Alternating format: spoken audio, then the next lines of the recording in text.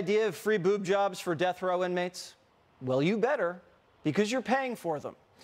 More than $4 million, taxpayer cash, has been used to give 150 California prisoners sex changes or gender affirming care, whatever that means. Almost a thousand more are on the sex change waiting list. Ooh, goody. Four of these people are on death row. So, what's the point? It's like getting your car washed before a thunderstorm. Doesn't matter.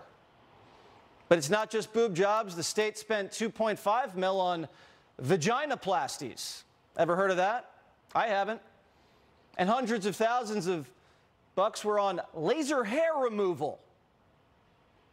I guess you can't shave with a straight razor in prison, so I don't know if they could give them Nair at the commissary.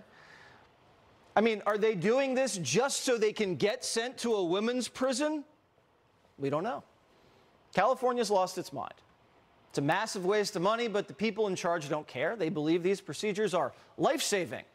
Does life saving procedures make any sense if someone's on death row? I don't think so. And the trans industrial complex loves it.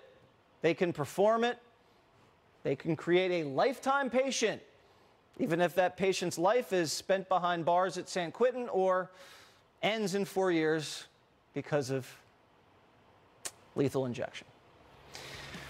Well,